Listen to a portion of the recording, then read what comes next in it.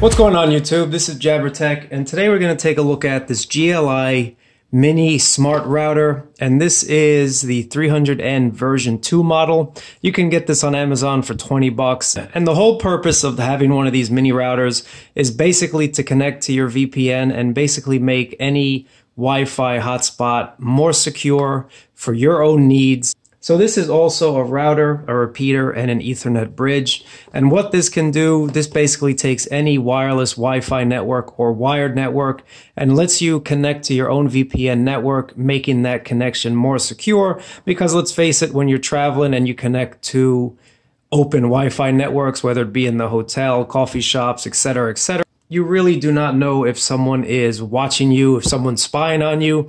And you guys know me by now. I love VPNs. I just signed up for TorGuard. I will be having a review of this service in the next week, but I want to take a look at this and show you the setup process and perhaps do some speed tests and just figure out what it's all about. I've actually never had a mini router, so this is my first time as well. So let's get into this thing right away. So for those of you that want to know the specs of this little router, this is version 2, so this has been upgraded from 64 megabytes of RAM to 128 megabytes of RAM. It has a 580 megahertz processor in here, so that should allow for better Wi-Fi and faster OpenVPN connections. And then also it has 16 megabytes of flash RAM.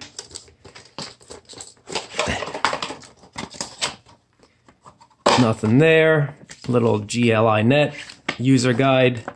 We might have to revert to this later. And this basically shows you how to connect and all that good stuff. There's TorGuard, very nice. And this is the actual router itself. Let's take a look. Another sticker from TorGuard. And your power cable, and it uses micro USB to charge. So this thing is tiny. Let me show you a little comparison next to my Note 8. You can see just how small this thing is. Fits in the palm of my hand. So just for fun, guys, I actually pulled out an old Cisco Linksys E3000 router that I use as a repeater these days, and this is the size of it. So this little thing is actually more powerful than this. And of course, routers these days are even larger than this one, so this one could be considered a mini router. But anyway, let's take a look at it. So you have your WAN port and your LAN port. You have your power right there. There's a USB. Reset is actually a mode switch. So if you have it to the left, that's when you will be able to use this and have it act as your DHCP server, your firewall, etc. And if you switch it to the right, that's basically bridge mode, so it'll just basically just act as a pass-through if you wanted to without any firewall or DHCP server, etc. I'm going to charge it off of a power bank, and that's what's really cool about this 5 volt mini router. You can power it from a power bank. So let's see what we get when we plug this thing in and my yellow cord actually matches the router. That's kind of cool. So opening up your Wi-Fi, you will see your mini router right here, GLMT300N. Let's connect to it, enter our password. We're connected. So now we want to open a browser and get into the UI. And here we go. Now you want to select your language select your time zone. And then we want to set a password for ourselves. Okay, so this is what we're presented with. The actual UI looks pretty, pretty nice. And then here we go. We have a little graphic here showing you if you want to reset, press and hold for three seconds. And then the three lights, one's for wireless, configurable, and power. So as you see, you have the wireless light is actually blinking now, so we are transmitting and receiving data. So let's see what else we got here. We have our DHCP server, and then here we have our wireless settings. So let's see, you can adjust the power output of the Wi-Fi. So that's pretty good if you want to save some power. And then settings, you have 300 meg, which is the max, N and G. So you also have 802.11b, N and G. I'm going to leave it as that. Channel auto. And here you can change the SSID of your wireless network. I'm just going to leave it as this for now. And then you also have your encryption. And then you can put your own password. So let's get out of that.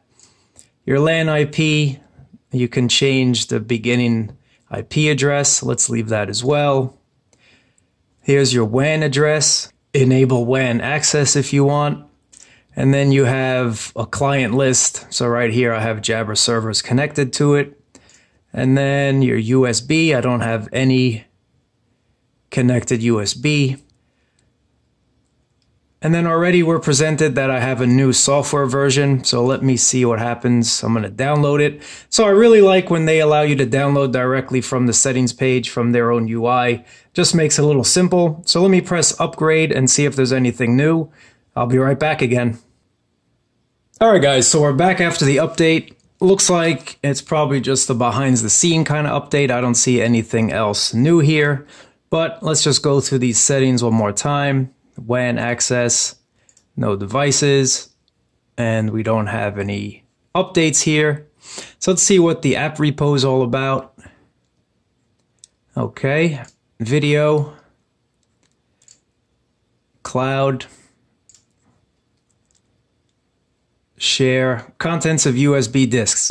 So as well as this USB port on the side being for a 3G or 4G modem, you can also connect a flash drive to it and be able to share those files over this mini router. But now what I'm really excited about is the OpenVPN settings. So let me upload my TorGuard VPN settings, and this is a VPN that I highly recommend.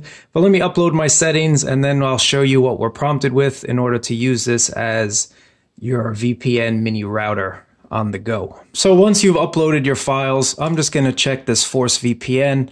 And for those of you that want to know what that means, this is just a kill switch so that if your VPN goes down, it'll stop all your internet traffic. That's usually pretty good to have. This way you'll make sure you're connected to your VPN.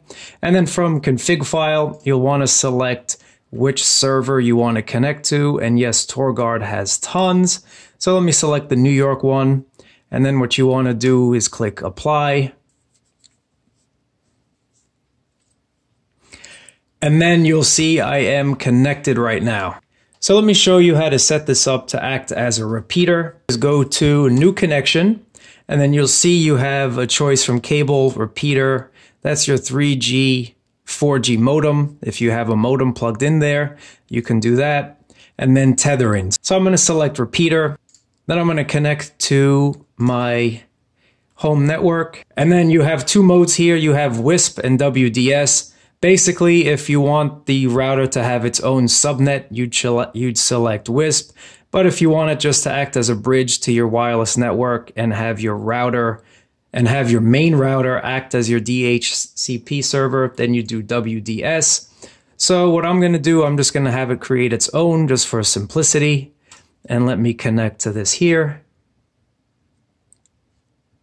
And then here we go. You see I am connected to my own home network and you got all the information down here. So if I go to what's my IP address, let me just refresh that again. You'll see that it shows I'm in Seattle when in fact you all know I'm in New York. So I really like this. All in all, guys, I know this has been a pretty long video, but I think it's worth it. This mini router will protect you from prying eyes, and it's very, very simple to set up.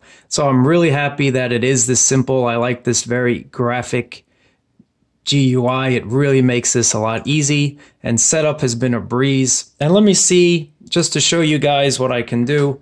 Let me connect a few more devices to this thing and then we'll run a speed test. But what I'm going to do for the speed test is I'm going to switch it back to a server that's closest to me. This way we get a little, little better speeds. So I have my Note 8 I have my tab and I have my PC. So I'm going to click go and let's see what kind of speeds we can expect. All right, so with three devices connected, you'll probably get about two meg on each device. Now keep in mind, I am running a 100 meg down connection here. So with three devices, you're getting 2.5, 2, and 2.16 on each device. Upload speed, five on one, and the other one's about three. So I'm going to do a speed test just with one more time and then with one device connected because most likely you probably will just have two devices connected at the same time and probably not running a speed test all at the same time.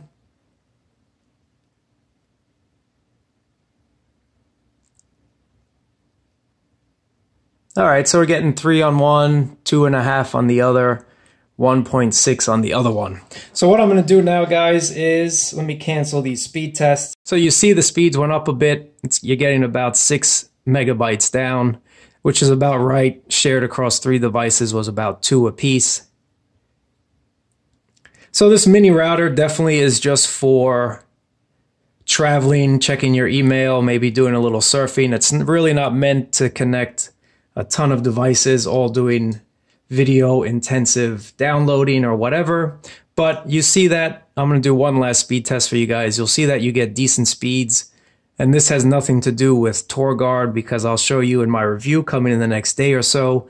So this in no way is the actual speed test for TorGuard. So make sure you subscribe and watch my review on TorGuard. You will be surprised at the speeds I get. But again, guys, this is like a little router meant to be taken with you just to protect you when you want to do banking or sensitive information on a hotspot. Now I'm going to go to a YouTube video and just to show you that it does play just fine with the connection. Watch Sport LTE edition. As you can see, I've been running this mini router off of my battery pack and it's not taking that much juice at all. So in order to use this mini router, all you really need to do is have a uh, battery pack, maybe a dual port battery pack to charge your phone and this router at the same time. But overall, I'm really happy with, this. I will be including this in my travel bag and taking with me wherever I go. I just like the idea of having my own personal network and TorGuard is absolutely a great service. Make sure to subscribe, thumbs up. I will be re reviewing TorGuard in the next day or so, and I've been extremely happy with them. I've come in from private internet access PIA, which is also a very good VPN, but there are major differences between the two, and I will tell you about both of them. Anyway, guys, hope you enjoyed my little review on this router, and I'll catch you guys next time. Peace.